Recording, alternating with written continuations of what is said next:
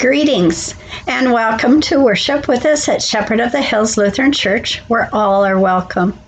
During this time of great pandemic in our world, we come to worship together via Facebook as well as our Sunday morning 10 a.m. drive in worship at 60th and Sorensen Parkway. We will continue to worship together separately and safely until we can once again come together in the sanctuary. Until then, please do your part to slow this pandemic. Tuesday, November 17th, we will be serving our Thanksgiving community dinner. Not the same as years past. This will be a pickup meal you can take home and eat. The pickup starts at 5 p.m. in our parking lot. Uh, we're asking you to maintain a safe social distancing when you come and wear a mask. Again, all are invited. Next Sunday is the end of our church year, Christ the King Sunday. From there, we will go into the season of Advent, which is a time of preparation leading to the birthday of Jesus Christ. We will not have an in person Thanksgiving Eve service this year. There will be a short message on Facebook that you could share with your family. And also in our November newsletter, there was a devotion that you could use. And if you would like one of our newsletters, just call the church office. Thank you. We would keep in our prayers all those on the front lines who are working to keep our hospitals running. We pray for the scientists and the doctors and the nurses. And we also keep in our prayers the parents, teachers, administrators, and students who are trying to keep our schools running safely. And we keep each other in prayer. We continue to lift up all those from our congregation who are home recovering those who are mourning, those who are just plain struggling. We ask that you keep Ann Hoff and her family in prayer. Ann is at home in comfort care, surrounded by her family. The Holy Spirit calls us together as the people of God, so let us join in our call to worship. We are called to love the Lord our God. We are called to love with all our heart and soul we are called to love the Lord our God. We are called to love with all our mind and strength. We are called to love the Lord our God.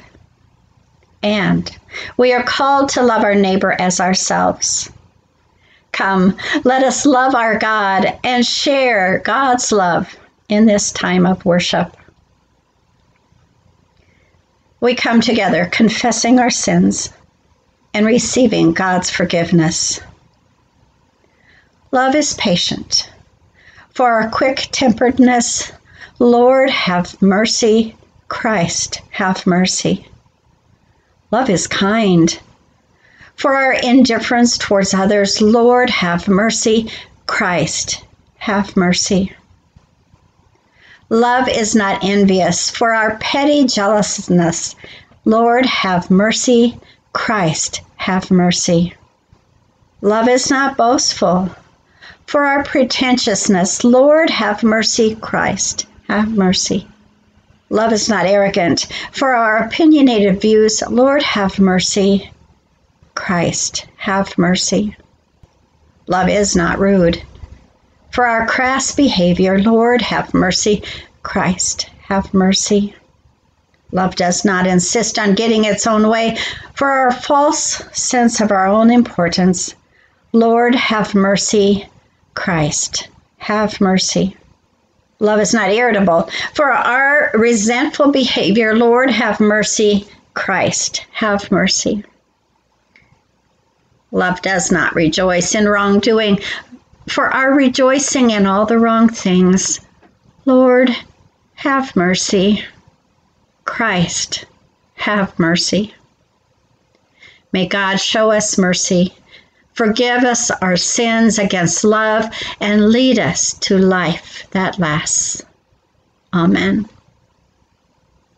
Persistently, patiently, lovingly, God pours out grace and joy into our lives healing our brokenness, forgiving our sin, loved. We are sent to love. Forgiven, we are freed to forgive. Graced.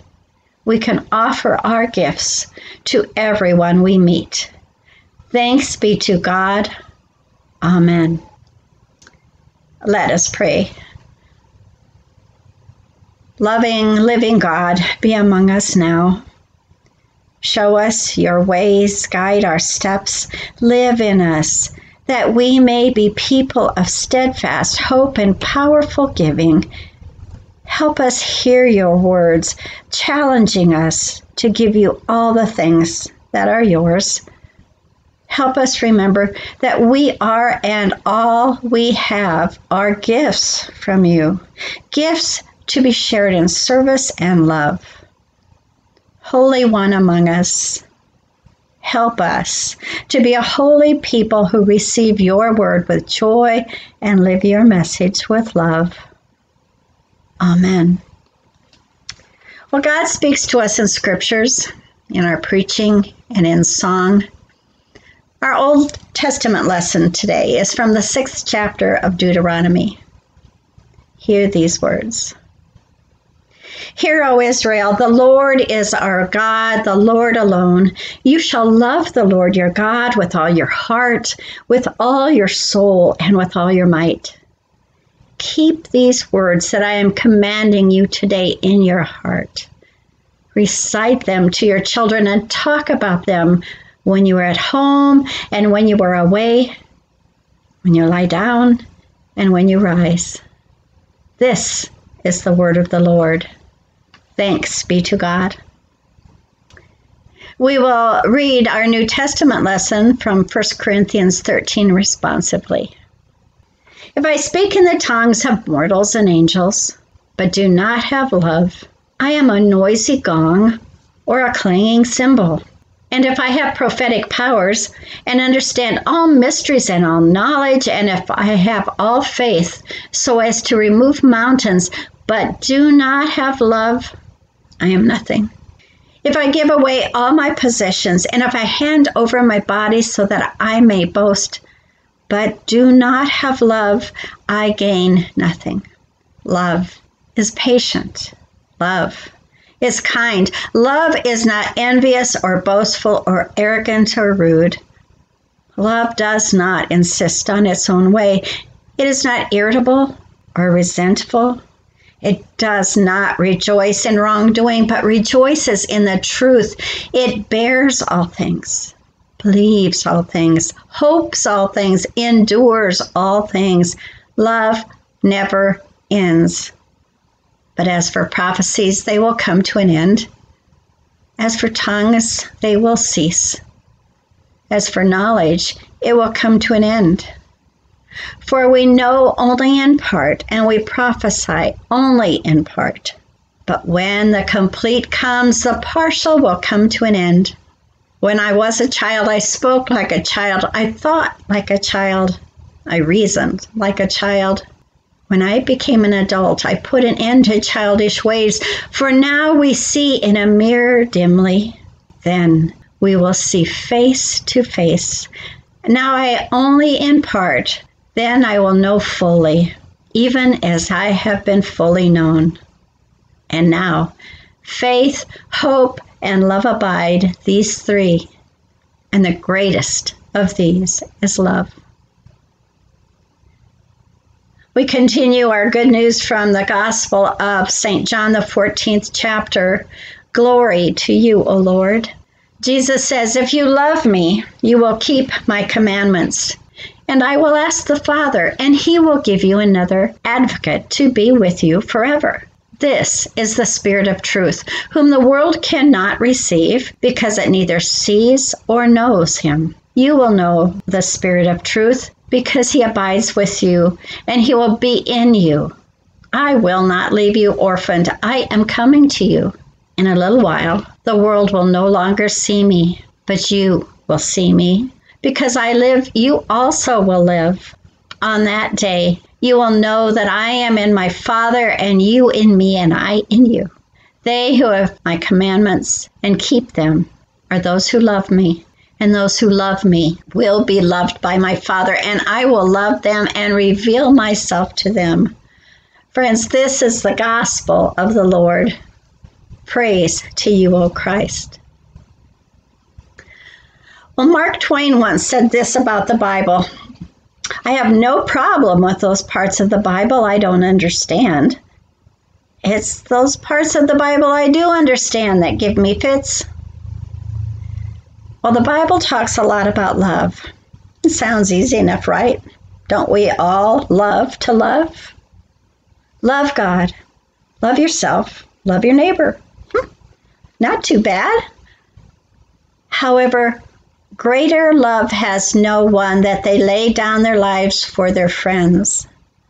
Love your enemies. Pray for those who persecute you. What? Starting to sound a little more difficult. The word love occurs 510 times in the Bible. The Bible talks a lot about love, and there's different kinds of love.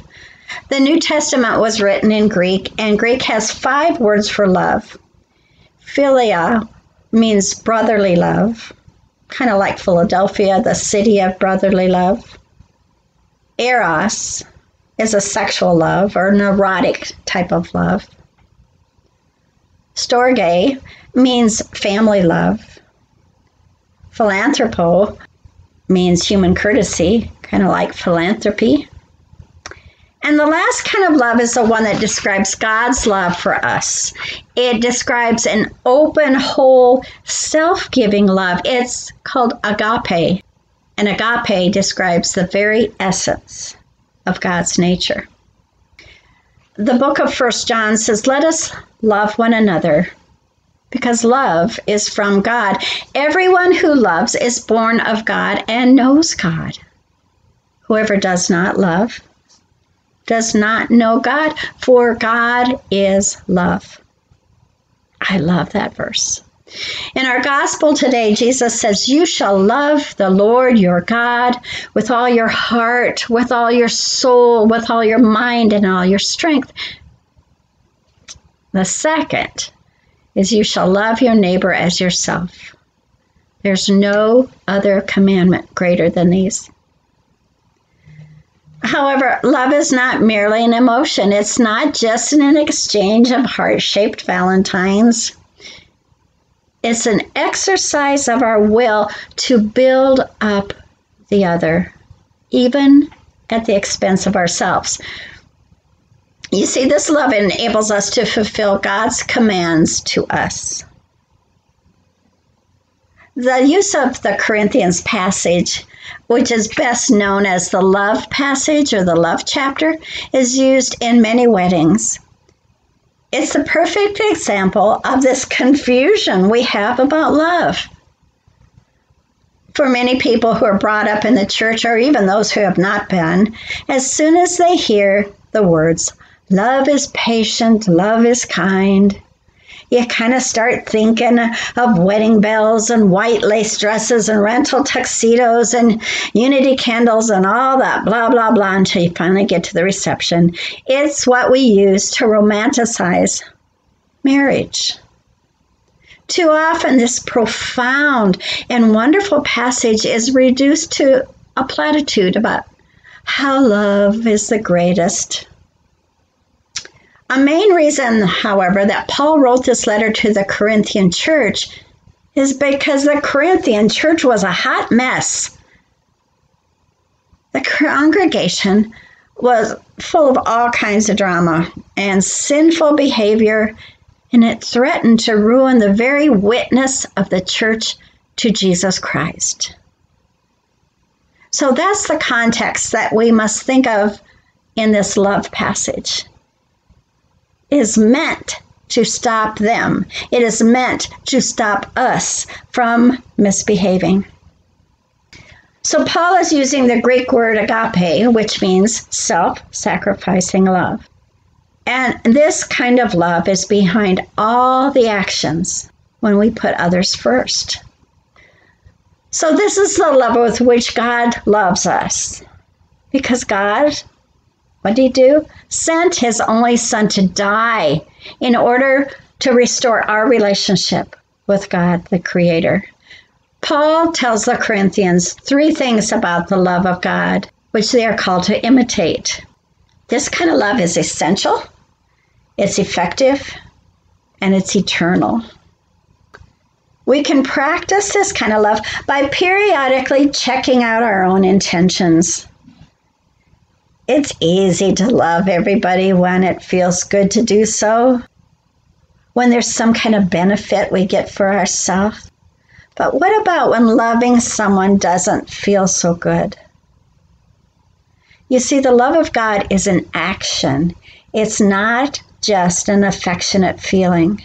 It's not just that warm, fuzzy feeling. It's sometimes messy and takes work.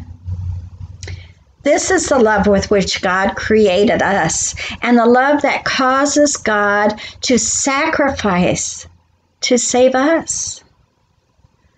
This is the kind of love that God commands us to practice all the days of our lives, not just when it feels good to do so. See, this concept of love can be tainted when we become self serving, self focused, and self fulfilling. Jesus teaches us through the parables that God's love for us is agape. It's a love which gives itself for the benefit of others. This love is compassionate, it's self expanding. It does not seek self preservation, it seeks to serve others. So, God's agape love is best seen in the life of Jesus Christ, who came as a child, uh, who came as an infant into this world completely love in the flesh, and went on to die on the cross. God is love. But when we try to mirror God's love, we often choose one of those other kinds of love and we fail and we wonder why things go wrong. All we want to do is love others. God wants us to share with others because you see, this love, this agape, is action. This love doesn't cost the count or cost or benefits. This love gives for the good of others. This love is selfless love in action. Sounds like a little bit of work. And we're invited to experience this unconditional love from God through Jesus Christ. I want to share a little story I read. A farmer raised sheep, but next to him was one who raised wheat, children, and large dogs. The dogs were always scaring the sheep and sometimes even attacking the baby lambs. The sheep farmer didn't know what to do. He could shoot the dogs or poison them. He could become nasty to the neighbor, or he could take him to court. Instead, he prayed about it and as soon as some new lambs were born, he gave one of the lambs to each of his neighbor's children as a pet. you can imagine how thrilled they were. Well, the father could no longer allow the dogs to run free, or they would kill and attack the lambs. So the dogs were tied up. The two farmers became friends. You see, kindness and love made them neighbors. Jesus says, If you love me, you will keep my commandments. And then we're commanded to love one another as Jesus loved us. So, living in Christ means living each day for Jesus and our neighbor. I like my neighbors, that's not too bad. Living in Christ means living each day for Jesus and our neighbor, our white, our black, our brown, our female, our male, our bigender, transgender, single, married, Republican, Democrat, old, young, Muslim, Jewish, Buddhist neighbor, and love myself. Seriously, how can I do all that? Why would I do all that? Well, I can't. So Jesus says, I will send you a helper. The Spirit of truth will reside in you, and you will love your neighbor with and through the power of the Holy Spirit as I love you. So here's the how and why of it. If you love me and you keep my commandments, and you don't have to do it all alone. wow. What a powerful scripture readings we have today. Remember Mark Twain saying in the beginning, I have no problem with those parts of the Bible I don't understand. It's the parts of the Bible I do that gives me fits. Folks, Christian life is tricky. Even when we think we might be sharing God's love, those other self serving what if loves kind of creep in. But agape love means I want to do something important to show love through action with no payoff, with no thought of how hard it might be, with no thought of considering how much it could cost me, with no thought of what I'm going to get out of this. Love God, love self, and love others as yourself shouldn't be that hard. Or is it? So, what message do we take from this today? if you love me. So, just how do we love Jesus? Loving Jesus is when we want to witness how we love Christ through our actions, how we treat other people. How do we love Jesus? We love Jesus with our heart and our soul and our strength and our mind. We love ourselves after all, we're a gift from God. And we love our neighbor as ourself. And we teach this to our children, not by what we keep telling them, not by going just to Sunday school, not just by reading the Bible, not just by going to confirmation, not just what they hear us telling them. They learn this by seeing it.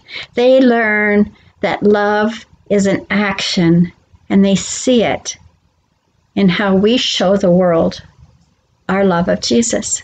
If you love me, you will keep my commandments. So, how does this apply to our church community? What does, if you love me, you will keep my commandments look like in our church community? How does Shepherd of the Hills Lutheran Church, Omaha, Nebraska, show love for God, ourselves and our neighbors? How are we keeping this commandment? Well, think about it a minute.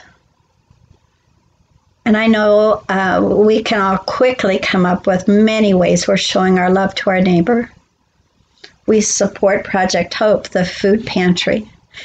We support the community dinners. We keep others in prayer we wear masks, we stay distanced to keep ourselves and our neighbors safe from COVID 19. We continue to worship in new ways so that we can continue to share our love for Jesus Christ, even if it's not the way we'd like to gather. We see it in the way we talk about others.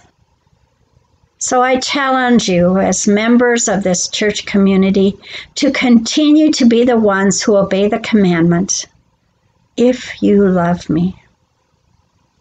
Do we do it alone? No. The Spirit abides within us and guides us what to do and what we are called to do. You know, when we try to explain how the Holy Spirit leads us day by day, do you really understand it? Do most people understand it? Jesus said the world can't accept this because they don't know the Spirit, they don't see the Spirit. But you know what they can see? They can see how you and I treat other people when no one else is looking. When you have nothing to gain personally by what you're doing, the world can see and know the Spirit working within us. They can see we're serious about putting a stop to this virus by being diligent in keeping others and ourselves safe. They can see when we're generous, loving, caring, helpful, and, and kind in our outreach to the community and to each other. I have heard it again and again. You may be the only sermon some people will ever hear. So, what are they hearing? What are they seeing? Are they seeing and hearing this love of Jesus Christ? This is what I want you and I need you to remember. We are a sermon, and some people will only hear that sermon from you. So, what are you going to preach? What are you going to show? This love, agape, is unique and it's rewarding and it's necessary. There's an old story that tells of a rabbi who lived in a small Jewish village in Russia. Every Friday, this rabbi would vanish for several hours. The devoted villagers would boast that during these hours their rabbi ascends up into heaven to talk with God. Well, a newcomer moves to town and he's rather skeptical. This ascending into heaven didn't make sense to him. So, this newcomer is determined to discover what that rabbi really is up to every week. So, one Friday morning, the newcomer hides near the rabbi's house and watches him rise. The rabbi says his prayers and puts on clothes of a peasant. He then grabs an axe and goes deep into the forest and he chops down a tree and gathers together a large bundle of wood. Well, next, the rabbi goes to a shack in the poorest section of the village. It's a very humble dwelling of an old woman and her very sick son. The rabbi leaves the wood, which is enough for the week, and then quietly returns to his own house. The story concludes when the newcomer decides to stay on in the village and he becomes a disciple of the rabbi. And whenever they would hear one of their fellow villagers say, On Friday morning, our rabbi ascends all the way to heaven, the newcomer quietly adds, Yes, he ascends to heaven, if not higher. You see, love is a command, it's an action, it's a reflection of God. This love, agape love, is self surrender, and it fills our lives with joy and meaning. It's better than any Valentine you can ever get. Jesus says, If you love me, you will keep my commandments, not so that God will love you, but because God loves you. So we can truly love one another. Amen. As people of God, we join in prayer for one another. Let us pray. Good and gracious God, we praise you that in life and death you are our God and you love us. We thank you, God, for the gift of this day and with all its promise for joy and meaning and purpose. We thank you that you stoop to comfort us in our distress, to soothe our aching hearts, to love us. Hear these laments that haunt our souls. We pray for our friends and family who suffer from disease or injury, for those in the hospital and those recovering. We pray for the hospital workers who are coming up against more than they can seem to handle. Lord, we often speak in painful words about relationships that have gone bad, and we grieve the state of this world, regions still ravaged by violence and poverty and political corruption and natural disasters in this pandemic. We seek your peace and healing and wholeness. We ask for your spirit to guide us, to love ourselves, to love our neighbors and we admit our own actions or inactions and all the evils that plague this world. We also give you thanks for the gift of life and the joy of new life. We thank you for babies and children, for students and educators. We thank you for loving and faithful parents. And we thank you for the gift of maturity and our ability to grow in grace and love towards you and one another. Lord, give strength to those bearing heavy burdens, those who deal with afflictions, mental illness, loneliness, loss of homes or jobs or loved ones. Through all the ages, you have shown your faithfulness to us. Lord, fill us with your Holy Spirit this day and the week to come, and through all of eternity, that we may celebrate your grace so freely given, so that we too can go out and love as you do. Eternal God, our Heavenly Father, we lift this up to you as we pray the words of our hearts, spoken and unspoken. In the name of your Son, our Redeemer, Jesus Christ. Amen. God feeds us with the presence of Jesus. So you're invited now to join us in this Holy Supper. The Lord be with you and also with you. Lift up your hearts. We lift them to the Lord. Let us give thanks to the Lord our God. It is right to give our thanks and praise. It is, is indeed right our duty and our joy, that we should at all times and all places give thanks and praise to you, Almighty and merciful God, through our Savior Jesus Christ, who on this day overcame death and the grave, and by his glorious resurrection opened to us the way of everlasting life. And so, with all the choirs of angels, with the church on earth and the hosts of heaven, we praise your name and join their unending hymn Holy, holy, holy Lord, God of power and might. Heaven and earth are full of your glory. Hosanna in the highest. Blessed is he who comes in the name of the Lord. Hosanna in the highest.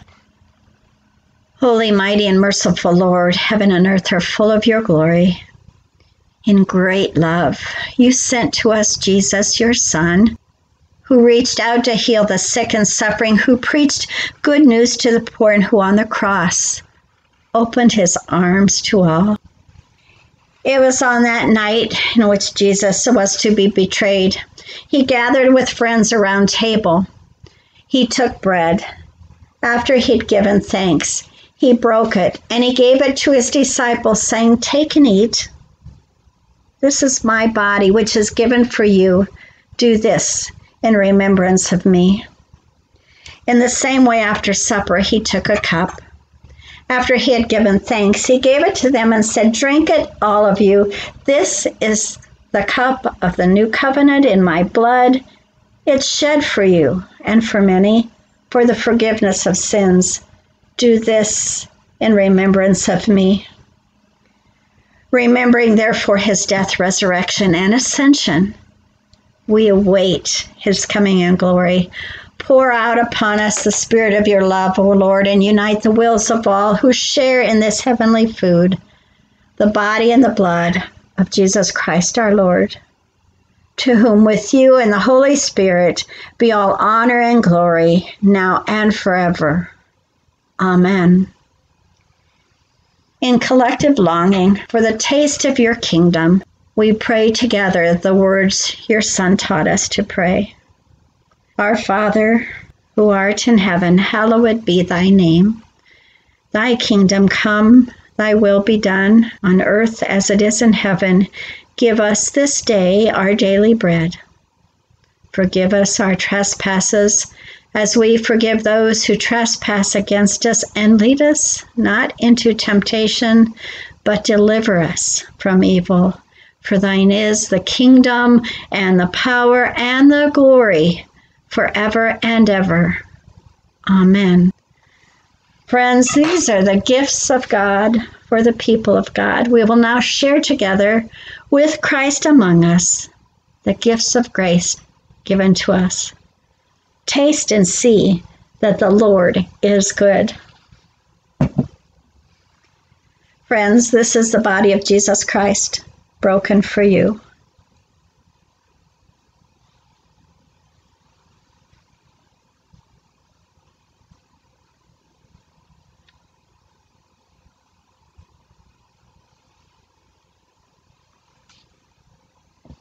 Friends, this is the blood of Christ shed for you.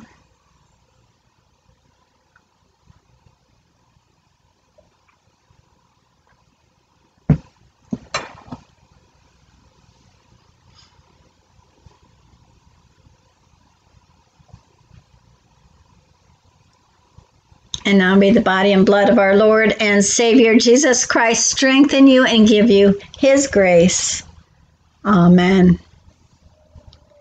Let us pray together.